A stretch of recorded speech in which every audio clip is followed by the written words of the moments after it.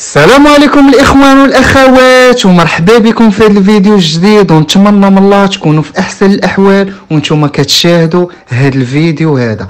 نجدد الترحاب بكم الإخوان مرة أخرى آه، باقي مواصلين ومواكبين ومتبعين المنتخب الوطني المغربي. هذه الحلقة الإخوان غادي تكون مقسمة لجزئين.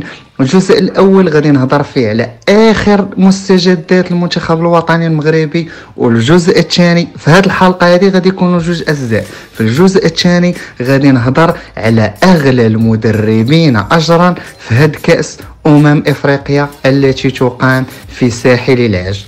آه غادي نتواصلوا الإخوان في هذه الحلقة هذه. غير صوتيا فنتمنى من الله ينال إعجابكم هذا الفيديو هذا. وقبل ما غادي ندخلوا الإخوان في آخر الأخبار ما تبخلوش علينا الإخوان ب like تعليق زوين وبارطاجيو le maximum الإخوان باش تشجعونا باش نزيدوا أكثر في هذه الفيديوهات آه، كما سبقت قلت لكم الإخوان في الحلقة السابقة اللي دويت فيها على نصير المزراوي وأمين عدلي فراه التحقوا الإخوان بالمنتخب الوطني المغربي البارح نهار الاربع فراه الآن حنا بكامل العناصر ديالنا في ساحل العاج واليوم إن شاء الله يوم الخميس غادي تكون مقابلة حديه ضد منتخب سيراليون اللي غادي تكون مقابلة بدون إعلام الإخوان غادي تلعب مع السته ديال العشية. وبزاف ديال الهضرة سيرتو الإعلام الجزائري والمصري والتونسي كلشي حاط عيني على المغرب ما بقينا فاهمين والو. كلشي ولا دابا كيهضر. فغادي نجاوبهم الإخوان.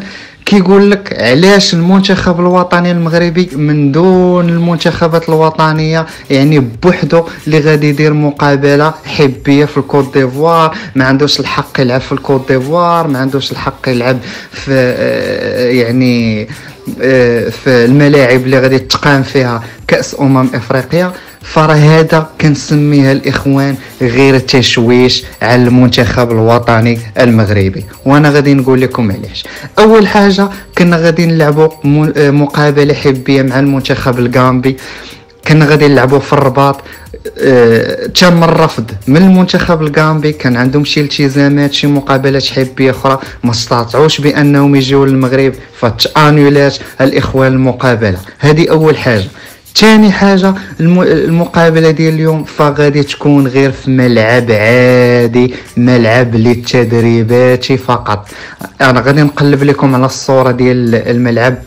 وغادي تشوفوه أصلا غير صالح لإجراء مقابلة لكرة القدم. يعني باش تعرفوا الإخوان الإعلام الجزائري والمصري والتونسي غير باغيين يشوشوا على المنتخب الوطني المغربي بأي طريقة. غادي ندوزوا الإخوان دابا الخبر الثالث اللي كيتعلق بالمنتخب الوطني المغربي وهذه المرة غادي تكون على الأقمصة. المنتخب الوطني المغربي كنت كنظن صراحة كنت كنظن بأنه غادي يكونوا اقمصه جداد لكن ما غاديش نلعبوا باقمصه جداد غادي نلعبوا بالاقمصه اللي لعبنا فيهم في كأس العالم في قطر وأنا غادي نقول لكم علاش.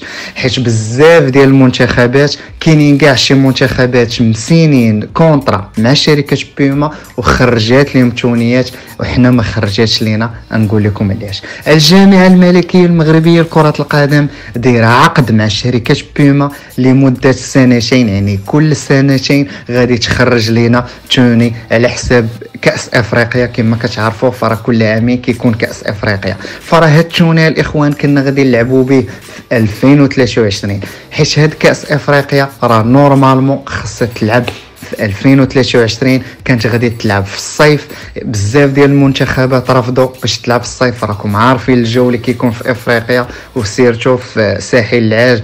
فراه الآن حنا في شهر واحد وراه كاين الصهد. فما بالك في الصيف؟ فداك الشيء علاش؟ تأجلات لشهر واحد في سنة 2024 فراه هادشي علاش؟ ما غاديش نشوفوا توني جديد ديال المنتخب الوطني المغربي. وحنا أصلا المغاربة كنتفايلوا بهذا التوني المغربي آه، الجديد اللي صايبات لينا بيما اللي بس ماشي غادي نقولوا بسببه ولكن كان فيه الحظ علينا وصلنا به نصف النهاية ولكن بغينا ناخذوا به كأس إفريقيا اللي متعطش ليها الجماهير المغربية كاملة سواء في المغرب سواء الجالية كل شي كيطالب هاد الكأس تكون مغربية وإن شاء الله. حتى ديال 2025 تكون حتى هي مغربية. ودابا غادي نمروا الإخوان الجزء الثاني من الحلقة اللي كتعلق بالمدربين الأغلى. اجرا القائمة اللي عندي فيها 10 ديال المدربين وهاد المدربين أو هاد المنتخبات هادو راه كاملين الإخوان مشاركين في هاد كأس أمم إفريقيا اللي كاين الآن في ساحل العاج. فبسم الله على بركة الله نبداو غادي نبداو بالمرتبة العاشرة. مدرب المنتخب التونسي جلال القدري وكيوصل في الشهر ل 11 مليون مغربية.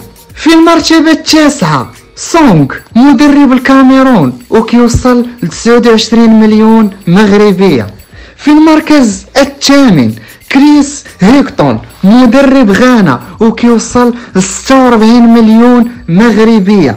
في المركز السابع آليو سيسي مدرب السنغال. وكيوصل ل 46 مليون مغربية.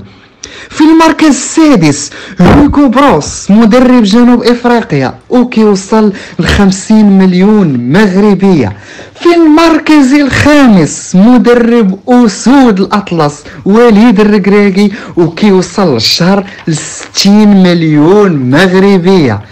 في المركز الرابع خوسي باسيرو مدرب نيجيريا وكيوصل في الشهر ل 70 مليون مغربية.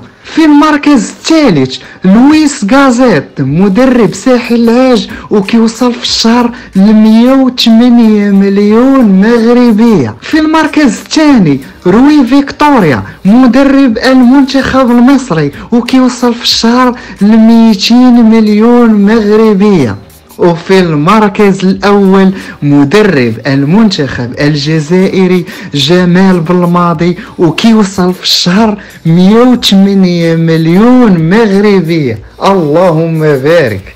أرقام الإخوان. أرقام فلكية. كانت هذه هي الحلقة الإخوان إلا وصلتي. حتى لهنا وما درتي لا لايك لا تعليق. اش كتسنى خويا ولا اش كتسنى أختي؟ دعموا الإخوان هذا المحتوى. فراه كنبدلوا الإخوان شوية ديال المجهود كنقلبوا لكم على أخبار ديما كنحاول نقلب على مواضيع جداد مواضيع الساعة. فدعمونا الإخوان ونتمنى من الله نكونوا فال خير على المنتخب الوطني المغربي. آه، كما كنا دايرين شحال هذه مواكبة آه، في قبل آه، كأس العالم في قطر.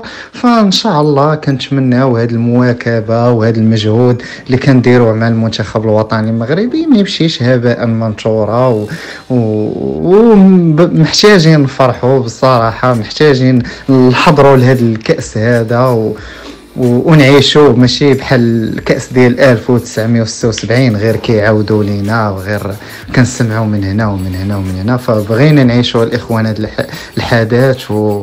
وحتى حنا القوم نقولوا لولادنا اللي كبرنا.